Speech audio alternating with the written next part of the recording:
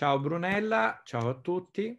Eh, oggi parliamo di un argomento un po' particolare. Eh, voglio fare una premessa. Eh, tempo fa avevo registrato un video in cui parlavo di senso civico e valore morale. Eh, poi però ho visto, Brunella, un tuo post eh, sulla compassione. Eh, mi è molto piaciuto e a quel punto ho pensato di non pubblicare più quel video che avevo fatto perché, perché lo possiamo integrare in, in, una nostra discussione in maniera più, eh, più adeguata e articolata in quel post eh, tu parlavi appunto di compassione e, e, mi è venuta anche un po' una curiosità, nel senso qual è la mm. vera definizione di questa, di questa parola? Noi molto spesso utilizziamo la parola compassione con un significato eh, tipo eh, aver pietà di, eh, mentre in realtà... Ecco, mi fa pena, mentre in realtà può avere anche un significato molto, molto più, più importante. Eh, ecco, per esempio, eh, dacci una bella definizione di compassione, di, una, una bella definizione come sai fare tu. Grazie.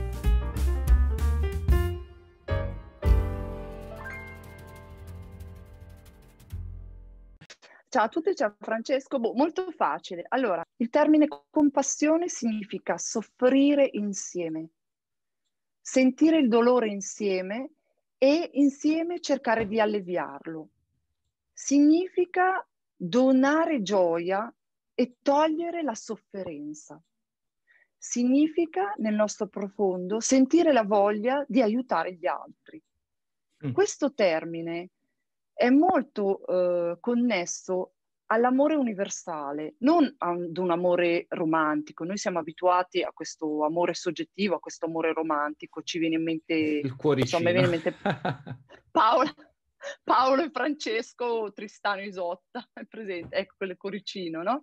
Ma è un amore, um, come dire, universale, um, un amore in quanto tale. È un, fine a se stesso, un significato più ontologico, per cui è una cosa che sentiamo nel profondo del nostro animo ed è una cosa che i bambini hanno, hanno perché noi animali so, sono, perché sono soggetti puri. Noi nasciamo come, siamo animali sociali che nasciamo con una natura compassionevole innata. Però ecco, eh, ti, eh, il problema è che poi questa società eh, invece ci insegna a cercare la felicità nella solitudine. Perché, per esempio, eh, in passato felicità significava stare con amici e parenti, eh, significava eh, andare fuori e vivere, vivere insieme fuori. Oggi, oggi, mi sa che la felicità è invece star da soli a, col nostro telefono eh, e degli altri chi, chi, se ne frega, ecco. Eh, eh, c'è un po' questa cosa, ad esempio questa cosa che dici mi ha acceso un pochino una lampadina mh, mm, in merito al mio lavoro, nel senso che mh, mm, quello che i nostri genitori ci hanno insegnato, la semplice frase che continuano a ripeterci negli anni, se dovessi chiederlo a ognuno di noi, eh, esprime proprio questo concetto, nel senso che mi viene in mente che ci sono, ho avuto delle persone dove magari la frase era guarda l'importante è stare bene, bene noi, Chi, chiusa la porta stiamo bene noi in eh. casa, eh. no? Cioè, questo, mi ha ricordato proprio questo, questo concetto qua. Eh, e invece no, no, nel senso che la vera felicità è stare con gli altri, la vera felicità è un incremento, della, è una somma della felicità nostra con la felicità dell'altro. Eh, la, la, solita frase eh, scontata è, è, più bello, è, più bello, dare o, o ricevere? è più bello dare o ricevere. Eh, ecco, forse è più bello è più condividere. Bello è più, no, è più bello condividere. Diciamo, insomma, è una questione enigmatica. Eh, no, è condividere. È condividere, bravissimo. Condividere. Bello condividere. Cioè, eh, avere eh, quello che si ha lo si condivide con gli altri. Ecco, eh, qui faccio un'altra osservazione. Per esempio, io sulla mia pelle posso dirti che sto eh, tastando proprio con, con mano l'assenza di altruismo da parte di molte persone. Ehm, pur, mh, non so se sono tante, perché poi alla fine non riesco a quantificarle, ma dai commenti che ricevo, dalle osservazioni che, che molti mi fanno, eh, praticamente niente, noto eh, un egoismo esasperato e la totale eh, mancanza di eh, altruismo. Per la serie, io penso al mio bene e degli altri chi se ne frega. Ti faccio un esempio. Quando io dico che eh, la vaccinazione eh, è una profilassi di comunità che eh, sì, serve ovviamente per il bene nostro perché ci protegge, ma soprattutto serve per il bene della comunità, quindi dobbiamo accettarne gli effetti collaterali. Apriti cielo, apriti cielo questa cosa è una, una, roba che non si può dire, tu sei un pazzo, ma che cosa stai dicendo, eccetera. Oppure un altro esempio, quando un'altra cosa, per esempio, che è veramente eh, complicata da accettare per molti, è eh, la storia della mascherina, che la mascherina chirurgica non serve per proteggere noi stessi, serve per proteggere gli altri. Questa cosa da molti è inaccettabile perché, perché degli altri chi se ne frega. Però non ci si rende conto che vivendo all'interno di una comunità, se noi facciamo il bene della comunità, eh, automaticamente il bene ci ritorna. Esatto. Eh, l'esempio, esatto, sempre, assolutamente. L'esempio, l'esempio che faccio sempre io, sì è vero, la mascherina protegge gli altri, e non direttamente me stesso. Ma se tutti indossiamo la mascherina, tutti ci proteggiamo da tutti. Se tutti ci vacciniamo, tutti ci proteggiamo da tutti. È molto più complesso, siamo... ma è molto Scusa, più siamo... vero. Siamo una catena inscindibile in questo momento e, e non, non, c'è niente da fare. Purtroppo ci eh, sono tanti egoisti che però rappresentano gli anelli deboli di questa catena, ecco. Certo, io condivido questa cosa perché è capitato anche molte volte sulla mia pagina, quindi condivido esattamente questa cosa qua. Ma mh, bisogna far comprendere alle persone che hanno perso, diciamo, questa via eh, più saggia, eh, che, che, comunque va a riguardare tutti, che esistono delle strade migliori, no? per, per avere una vera felicità, per essere felici e per avere maggiore equilibrio esistono del, delle strade migliori. Eh, purtroppo si è arrivati anche a questo punto, cioè a pensare che comunque io penso al mio orticello e chi esatto. se ne frega del esatto. resto, no? E quindi come se fosse l'unica via ehm, l'egoismo, ma non solo, anche la, la, ricerca della comodità a tutti i costi, no? Io ho scritto esatto. questa cosa, cioè la ricerca della comodità a tutti i costi porta anche a confondere l'idea del diritto alla libertà, anche questo. No? Cioè, nel senso, io sono libero, ma eh, insomma il concetto di libertà deve coinvolgere anche gli altri, non è un concetto singolo.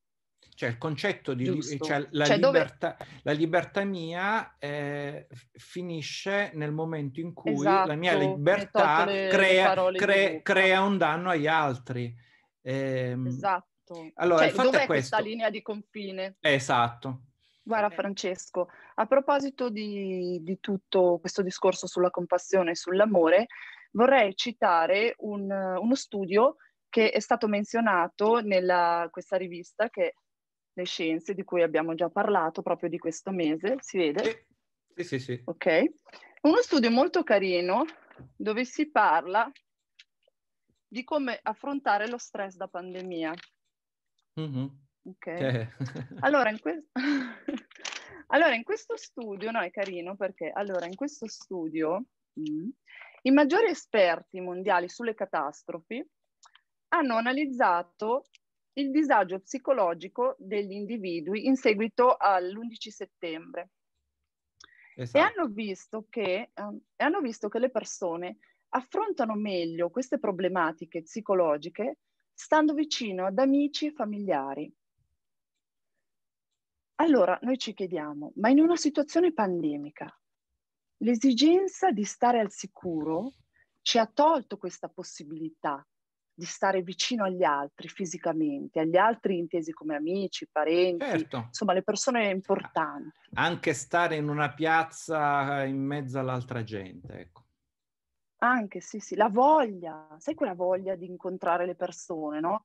In questo momento invece quando incontriamo qualcuno già siamo un pochino agitati, no? Ci, viene, cioè, ci è tolta un po' questa, questa, questa voglia, di, questo desiderio di, di incontrare gli altri, di collettività.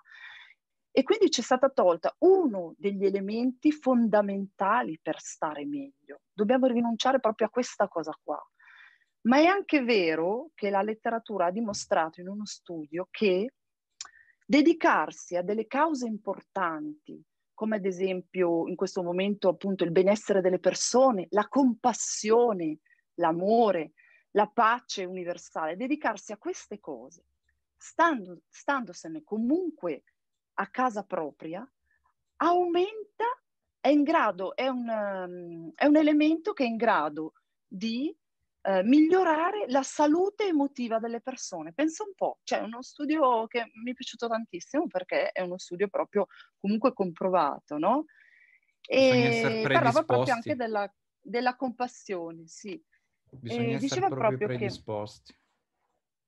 in uno studio del 2007 eh, fatto dal neuropsicologo William, vabbè adesso non sto qua a dire, lui ha analizzato, eh, ha fatto diverse ricerche sui bisogni principali che si possono provare di, durante un disastro. Gli scienziati hanno riferito che i primi cinque sono sentirsi sicuri, tranquilli, autoefficaci, avere legami sociali e speranze. Chi si dedica ad attività che aiutano gli altri può soddisfare tre di questi bisogni, sentirsi più utile, collegato, speranzoso per il futuro e stare meglio da un punto di vista emotivo. Quindi cioè, questo studio è molto, molto bello in questo senso, quindi anche a casa noi dedicandoci agli altri o comunque facendo delle cose per gli altri possiamo stare meglio. Eh, Francesco direi che noi ne siamo la prova, no? Ci proviamo. Ci proviamo almeno. Il allora proviamo a sperimentare questa cosa. Allora, eh, il problema è questo, che mm, secondo me per fare questa cosa molto complicata bisogna essere predisposti, bisogna avere uno stato d'animo predisposto. E, e, e secondo me non tutti... Libri che non, esatto. che non si impara eh, so. sui libri. Eh, lo so, eh, lo so. Ascolta, per eh. concludere voglio lanciare un appello, voglio, voglio dire una cosa che poi ovviamente sì. mi esporrà a critiche bestiali, ma quello che voglio dire appunto è che dobbiamo essere più altruisti, che il bene della comunità è decisamente superiore rispetto al bene del singolo eh, voglio dire, il bene di Inzirillo o di, o di Vanotti è, secondario rispetto al bene della comunità in cui Inzirillo e Vanotti si, si trovano. Eh, e questo lo si deve accettare perché, perché, perché è una verità assoluta e perché non può essere altrimenti, perché se il bene del, del singolo eh, fosse più importante rispetto a quello della società, la società sarebbe già distrutta da, da un bel pezzo. Io sottoscrivo uh, con passione. Oh, ok, con Sottolineiamo, noi cerchiamo con passione, cerchiamo comunque di diffondere il più possibile questa cosa. Io adesso, e... io adesso ho paura, Brunella, io adesso ho paura, ho paura perché allora è, arrivato allora, il momento, è arrivato il momento delle tue frasi Ah, pensavo che avevi paura dei commenti su quello che No, no, quelli tanto li cancello, i commenti volgari tanto li cancello, li blocco, eh, è un continuo. È un continuo. Allora, ah, stavolta sono due perché l'altra volta non Mamma mia. Allora, un... una dedicata ai bambini. Eccola qua. Storia di una balena bianca raccontata dalla, da lei stessa. Eh beh, insomma, Ricordiamo anche l'autore che è morto di Covid. Mm-hmm. Ricordiamoci che abbiamo perso una persona importantissima. Allora, la balena dice, cioè togliamoci dal, dagli uomini, raccontiamo dice la balena. la balena non aveva mai visto gli uomini, a un certo punto nel mare dice, mi sembra molto strano il comportamento degli uomini in questo loro incontro in mare. La minuscola sardina non attacca un'altra sardina, la lenta tartaruga non attacca un'altra tartaruga, il vorace pesce cane non attacca un altro pesce cane. A quanto pare gli uomini sono l'unica specie che attacca i propri simili. E non mi piacque questa cosa che imparai da loro. Sì, Vero sì. che bella. Sì, eh, vabbè, non so se è una carino. verità, sì, non so se è una verità assoluta, però eh, gli uomini sono gli unici che si fanno le guerre sistematiche da quando, da quando esistono, quindi. Molto, molto carina questa. Mentre l'altra frase è una frase che ha scritto un uh, mio amico medico, che come dice lui mi ha visto nascere. Se dico di Berbenno tutti sanno a chi mi sto riferendo, che è una persona eccezionale, una di quelle persone che hanno quella cosa in più e quindi questa, quest, quella compassione, no? come dici, che non hanno tutti. Lui ha scritto questa frase mh, mm, in un'occasione speciale ed è questa. La neurobiologia studia il funzionamento del cervello, ma non indovina i pensieri dell'uomo. La contrazione dei muscoli di un volto può essere osservata e studiata in ogni minimo dettaglio, ma non può spiegare il senso di un sorriso, a riprova che fortunatamente il mistero rimane inabitato. Questa è veramente bella. Bellissima. Cioè io quando l'ho letto, cioè i brividi quando la leggo. Bellissima, mi piace tantissimo. Quindi vedi, cioè si vuole il bene, si vuole la compassione, eh, si crede alla scienza perché è, giust- è giusto, è comprovato, ma c'è l'amore del mistero rimane, no? Cioè, comunque perché noi siamo molto di più, c'è la complessità della, della vita, la vita è complessa. L'ho scritto in un altro post. Ok. Con questa, basta, con sono questa... una donna, mi sono emozionata, basta, però non hai più detto niente. Anche se... O con questa mielosità chiudiamo questo mielosità. video. Dai, bene. ciao. Va bene, ciao a tutti, ciao ciao.